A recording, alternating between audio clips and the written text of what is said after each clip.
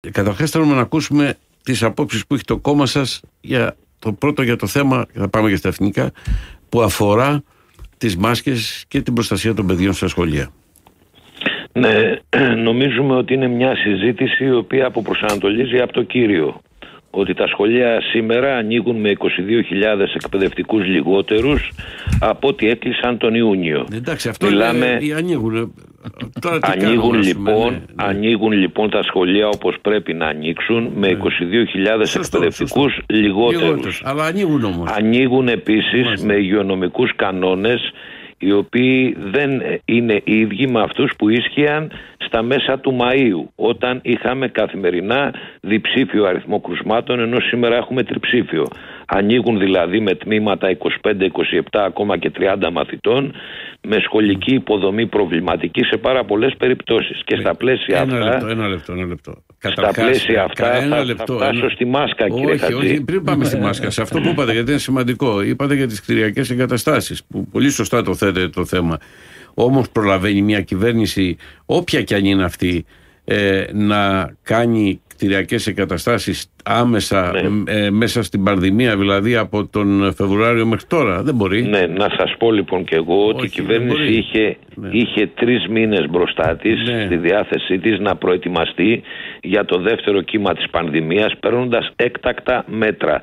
Τα έκτακτα μέτρα αναφέρουν σε ένα σχεδιασμό που πρέπει να γίνει ώστε να υπάρχει η απαραίτητη αποσυμφόρηση ώστε οι ανησυχίες που έχουν οι γονείς γιατί έχουν ανησυχίες οι γονείς με αυτά που ακούν, με αυτά που βλέπουν αλλά και με τις αλλοπρόσαλες οδηγίες της κυβέρνησης να μην οδηγούνται σε στρεβλώσεις, να μην οδηγούνται σε ανορθολογισμούς.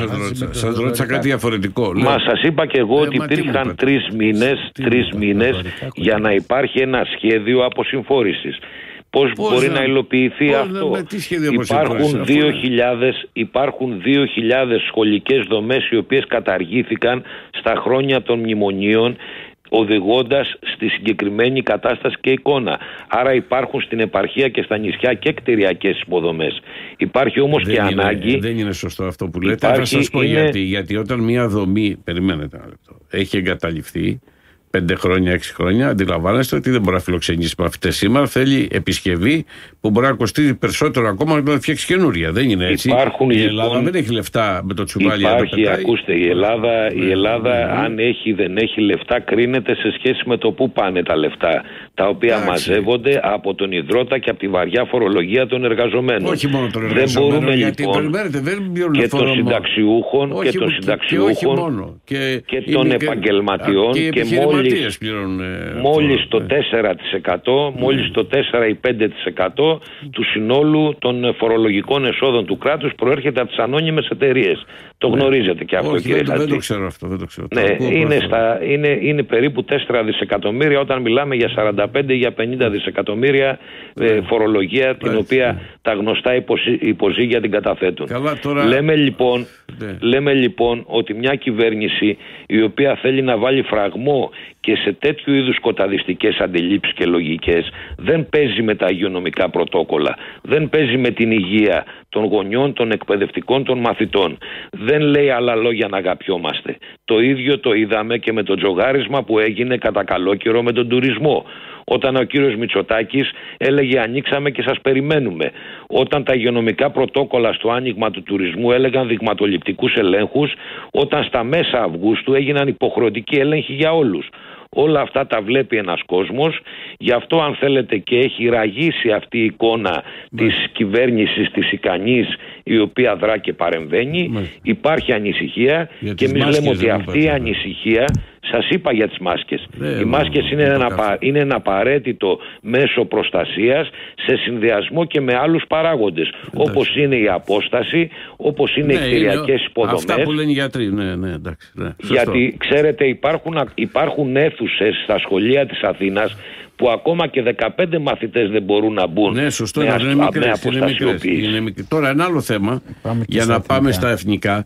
Πριν από λίγο ο κύριος Κουρουμπλής εδώ στη δική μας εκπομπή με το Δήμο το Βερίκαιο δήλωσε ότι κανονικά αν δούμε ότι κάνει την παραμικρή παράβαση, παραβίαση το Roots Race πρέπει να το βυθίσουμε. Μέσα από τα έξι ναυτικά. πρέπει να το βυθίσουμε. Ναι, αυτά έκανε και όταν ήταν η κυβέρνηση του ΣΥΡΙΖΑ ο κύριος Κουρουπλής.